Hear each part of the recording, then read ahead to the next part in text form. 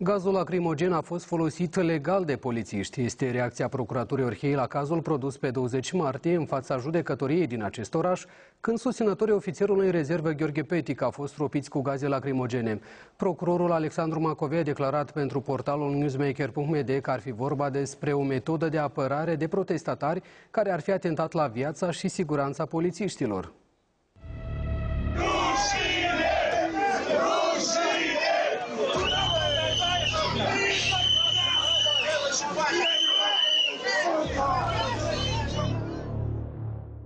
Potrivit procurorului Alexandru Macovei, înregistrarea video de la protestul din fața judecătoriei Orhiei ar fi fost analizată minuțios. De asemenea, ar fi fost audiați atât polițiști cât și protestatari. În opinia procurorului, din imagini se vede că unul dintre manifestanți a atacat un polițist, acțiune care i-ar fi pus în pericol siguranța și el a folosit gazul lacrimogen ca răspuns la agresiunea protestatarului. Macovei a adăugat că expertiza judiciară a demonstrat că polițistul a suferit traumatisme și procurorul este sigur că acestea au fost provocate de protestatar. În privința manifestanților care s-au plâns că li s-a făcut rău de la gaze, iar unii au ajuns la spital, Macovei a spus că rezultatele expertizei medico-legale ar fi arătat că problemele de sănătate ale acestora ar fi fost nesemnificative. Gazul a fost îndreptat spre un singur om, dar în condițiile în care ceilalți erau alături, i-a afectat și pe ei. A adăugat Alexandru Macovei. Iar despre gravitatea traumatismelor suferite de polițist, procurorul a spus că și acestea au fost nesemnificative. În martie, Asociația Promolex și-a exprimat îngrijorarea în privința acțiunilor polițiștilor care au stropit cu gaze lacrimogene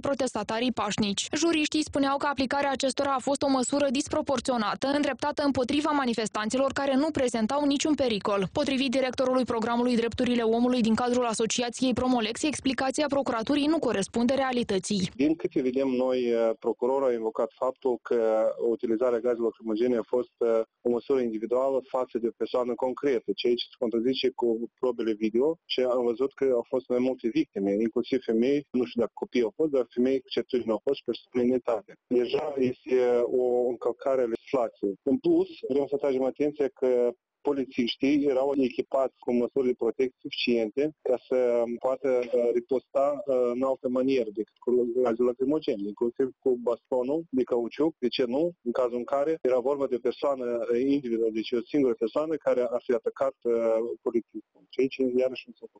Cât despre calificarea juridică, avocatul a menționat următoarele. Noi am, în comunicatul precedent am menționat aceste divergențe și, de fapt, uh, nu neapărat este vorba despre o infracțiune. Și aici trebuie de văzut care ar fi competențe procurorului. Într-adevăr, dacă este vorba despre uh, uh, necesitatea de declanșare urmăririi penale, adică deschide un dosar penal. Deci, noi suntem de părere că, totuși, aceste abateri care s-au constatat urmau să fie examinate de către organele disciplinare din cadrul IGP-ului. Deja nu știm care sunt consecințele acelor mijloace speciale asupra protestatarilor, ca să spunem că este necesară uh, pornirea urmăririi penale sau nu. Anterior și Amnesty International Moldova și-a exprimat îngrijorarea privind folosirea gazelor lacrimogene în cadrul protestelor pașnice din fața judecătoriei Orhei. Reprezentanții organizației subliniau că imaginile de la fața locului nu ar indica prezența vreunui pericol pentru ordinea publică, altercații sau violențe. Am încercat să obținem o reacție oficială de la Procuratura Raionului Orhei, dar șeful instituției, Sergiu Borodin, ne-a declarat că informații despre acest caz ne poate oferi doar procurorul